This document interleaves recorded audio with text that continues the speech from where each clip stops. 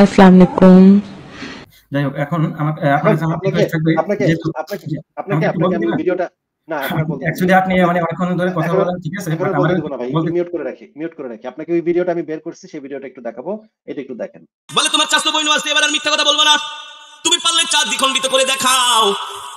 এবার আবু জেহেল আকাশের দিকে তাকিয়েছে নবীজি বলেন চাচা উনজুর উনজুর ইলা সামা আসমানের দিকে তাকান উনজুর ইলাল কমার চাঁদের দিকে তাকান চাঁদের দিকে তাকান।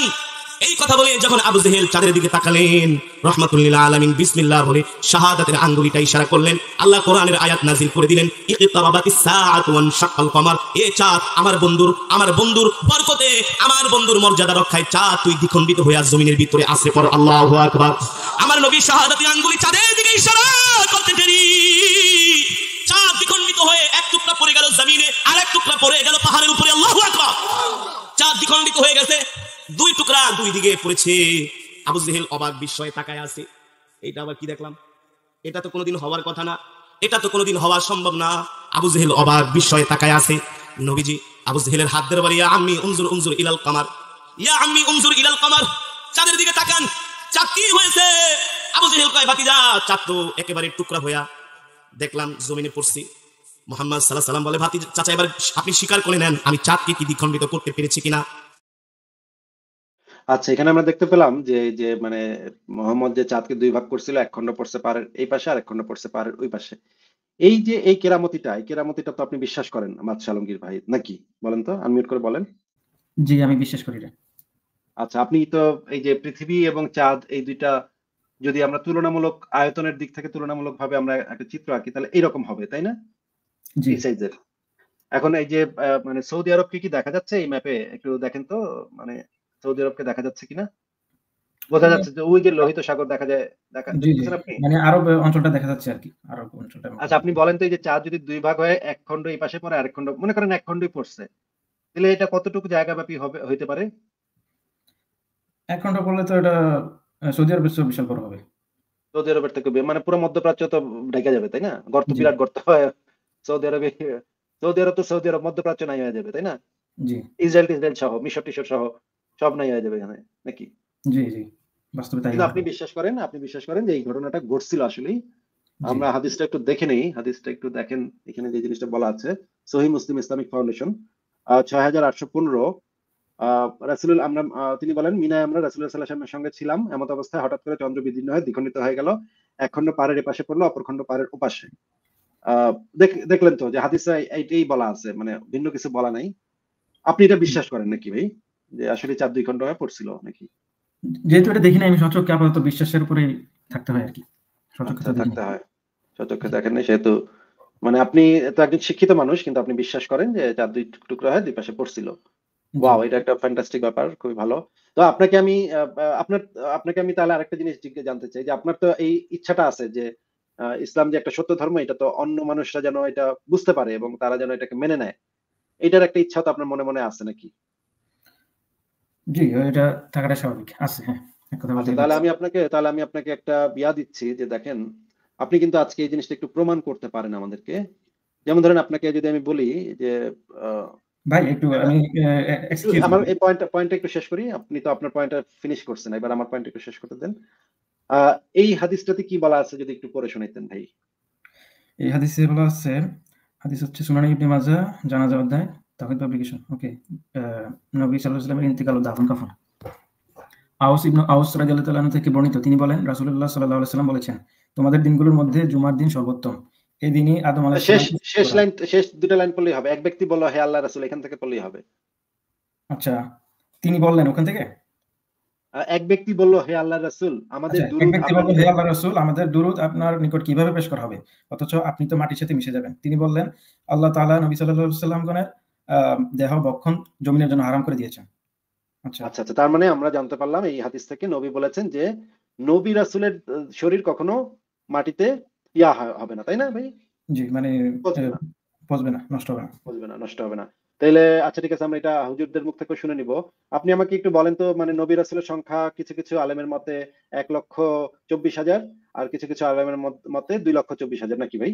জি। আচ্ছা তাহলে ধরে নিলাম কমেরটাই ধরে নিলাম এক লক্ষ চব্বিশ হাজার। নবী রাসূল পৃথিবীতে আসছিলেন তাদের বডি তো এখন পর্যন্ত পচে নাই তাই না ভাই? আচ্ছা আমরা এই ভিডিও আমরা একটু আলেমদের মুখ থেকে শুনে নিই যে ওনারা কি বলেন এই বিষয়ে শুনি শুনেন। হচ্ছে সাধারণ মানুষের দেহ মাটি খেয়ে ফেলে কিন্তু নবী রাসূলদের দেহ মাটি খায় না। আল্লাহ আল্লাহ রাসূল সাল্লাল্লাহু আলাইহি ওয়াসাল্লাম বলেন যে ইন্নাল্লাহা হাররামা আলাল আরদি আন তাকুলা আজসাদ আল আনবিয়া। আল্লাহ রাব্বুল আলামিন জমিনের জন্য হারাম করে দিয়েছেন নবীদের দেহ এই মাটি জমিন খেতে পারবে না। তাহলে কি আমরা বলব? যেহেতু তার দেহ নষ্ট হয়নি তাই তাহলে তিনি জীবিত বলতে পারব না। কেন বলতে পারব না? এটি হলো তার জন্য বিশেষ বৈশিষ্ট্য বিশেষ সম্মানের বিষয়। আচ্ছা আরেকটা ভিডিও একটু দেখেনি শর্ট ভিডিও দেখেন। সাহাবারা বললেন ইয়া রাসূলুল্লাহ কাইফা সালাতুনা মারুদাতুন আলাইক? আপনি মরে যাওয়ার পরে আমাদের দুরুদ কেমন করে আপনি দেখবেন? ওয়াকাদ আরিমতা আপনি তো পচে গলে মাটির সাথে মিশে যাবেন। বিশ্বনবী বলেন, ইন্নাল্লাহ হাররামা আলাল আরদি আন তাকুলা আজসাদ আল আম্বিয়া।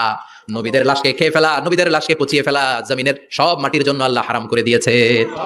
নবীদের লাশ পচে না, নবীদের লাশ গলে না। আচ্ছা এখান থেকে আমরা জানতে পারলাম যে নবীদের রাজ পচবে না, গলবে না, একদম অক্ষত থাকবে। তাহলে এক লক্ষ, প্রায় সোয়া এক লক্ষ লাশ মানে এখন পর্যন্ত পৃথিবীর মাটিতে থাকার কথা।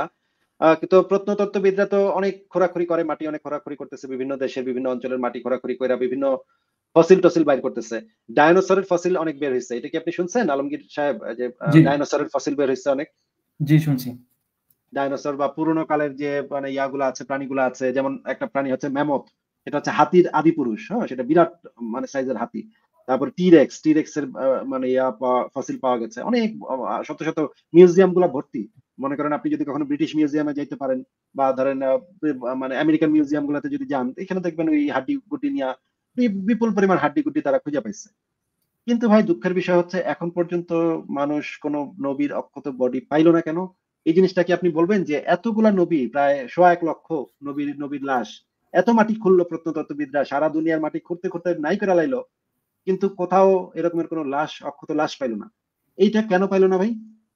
আচ্ছা এটা আমি যতটুকু বুঝি আর কি ক্ষুদ্র জ্ঞানে আপাতত পৃথিবীতে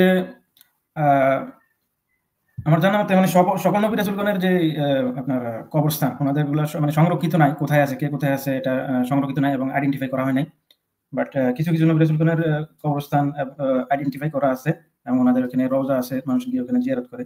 তো আমার মনে হয় বাকিদেরগুলো যেহেতু আইডেন্টিফাই করা নাই তো যেগুলো আইডেন্টিফাই করা আছে কিন্তু অন্য যেগুলো আইডেন্টিফাই করা নাই মাটি তো অনেক খুঁড়ছে প্রত্নতত্ত্ববিদরা তো সারা পৃথিবীর মাটি খুঁড়া একাকার করছে। ওই যে পুরোনো দিনের সভ্যতা খোঁজার জন্য শত শত বছর ধরে প্রত্নতত্ত্ববিদরা বিভিন্ন অঞ্চলে মাটি খোঁড়াখুড়ি তো চলতেই আছে, এখনও চলতেছে। কোনো, অনেক দেশে এখনও মাটি খোঁড়াখুড়ি কইরা মিশরের পুরোনো দিনের জিনিসপত্র মানে রাজা বাচ্চাদের জিনিসপত্র, তারপর হচ্ছে গিয়ে পুরোনো মূর্তি টুর্তি, এগুলো হাজার হাজার হাজার হাজার বাংলাদেশে এগুলো চলতেছে। আপনি যদি জানেন যে বাংলাদেশে রংপুরে, যদি আপনার রংপুরে একটা ইয়া জায়গা আছে, তারপরে ঢাকার পাশেই কয়েকটা জায়গা আছে, সেখানে অনেক কিছু ঘোরাঘুরি হয়েছে তো অনে- এত খোরাখুরি হইল একটা দুইটা নবীর তো মানে লাশ টাশ পাওয়ানোর কথা। একটারও এতগুলা নবীর প্রায় সোয়া এক লাখ বা সোয়া দুই লাখ একটা নবীর লাশ পর্যন্ত পাওয়া যাবে না এটা কেমন কথা ভাই? আসলে যুক্তির কথা আপনি যুক্তির কথাই বলছেন। বাট আমার কথা হচ্ছে আচ্ছা ঠিক আছে তাও ধরে নিলাম। তাও ঠিক আছে ঠিক আছে আপনার কথাই ধরে নিলাম ঠিক আছে জান ওইগুলা বাদ দিলাম। আপনারা তো ভাই নবী মোহাম্মদের লাশ কই আছে এটা তো আপনারা জানেন। তাহলে এটা একটু বাইর করে আমাদেরকে দেখা দেন আমরা একটু ইমানের পথে ফেরত আসি। যেমন ধরেন আমরা তো সবাই মানে মনে করেন যুক্তি টুক্তি নিয়ে চিন্তা ভাবনা করতে করতে আমরা জাহান্নামে চলে যাচ্ছি তাই না? শয়তানের আশ্রয় সাথে আমরা এটা তো জাহান্নামে চলে যাচ্ছি উচিত না। আপনারা এত কষ্ট করতেছেন এটা আসলে হ্যাঁ এত কষ্ট করতেছি কিন্তু আমাদেরকে জাহান্নামে পোড়াইবো আল্লাহ পাক। এখন যদি আমাদেরকে একটু দেখাই দিতেন যে যে নবী নবী মোহাম্মদের লাশটা উঠায় যদি আমাদেরকে একবার দেখাই দিতেন এটা একবার এই যে দেখ আমাদের নবীর লাশ পচে নাই। আচ্ছা তাহলে কিন্তু আমরা নবী কিন্তু মোহাম্মদেরটা বাদ দিলাম। উনি আর বাকি যেগুলো আছে হ্যাঁ ওনাদের যেকোনো একটা করলে ঘুরে চেক করে দিতে হয়। হ্যাঁ একটা করে চেক করে আমাদেরকে দেখাই দিলেই। মানে একটা হ্যাঁ। সারা পৃথিবীর মানুষ ভাই এটা তো এটা দাবি করছেন? আমি- কেউ কি হ্যাঁ, এটা দাবি করছে? আমি দাবি করছি তো আমি দাবি করছি। নবী মোহাম্মদের লাশটা করে আমাদেরকে একটু দেখা দেন ভাই। একবার দেখা দেন আমরা আপনি অথরিটি নিয়ে যোগাযোগ করেন। হ্যাঁ ভাই আমি তো ভাই এই কথা আমি কয়েকবার বলছি আমার লাইভে কয়েকবার আলোচনা করছি। আমি ভিডিও বানাইছি এখন কেমনে বলব ভাই? এটা এটা আমি করতে পারি। আচ্ছা ঠিক আছে এটা তো মানে হয়তো সম্ভব না সৌদি সরকার হয়তো আমার কথা শুনবে না। হ্যাঁ সৌদি সরকার শুনবে না। অনেক নবী যেমন আপনার ইউসুফ নবী বা হচ্ছে এই যে এই একটা তো অন্যান্য করে নবী দেয় রাসূল আছে। ভাই একটা তো দায়িত্ব। নবীরটা মোহাম্মদ এটা বুঝলাম এটা স্পেশাল আপনারা করবেন না। হ্যাঁ, আপনারা করতে আপনাদের খারাপ লাগবে ঠিক আছে অসুবিধা নেই। আরেকটা নবীরটা বাইর করে দেখান। ইব্রাহিম হ্যাঁ, যেকোনো একজন একটা যেগুলো আইডেন্টিফাই করা আছে যে কোনো একজন যে কোনো একজনেরটা জাস্ট একটু খুঁড়ে দেখে হয়। ভাই একের খারার উপরে আমরা হজ করে আসব আমরা ইমানদার হয়ে যাব। আপনি আমি ভাই ভাই মিলে একসাথে হজ করে আসব কি বলেন ভাই? তাই না?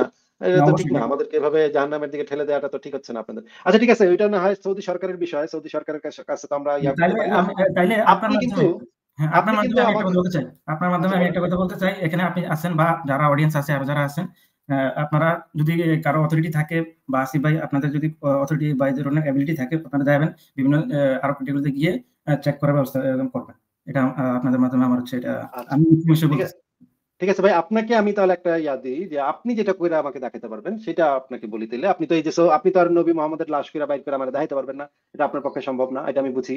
কিন্তু আপনি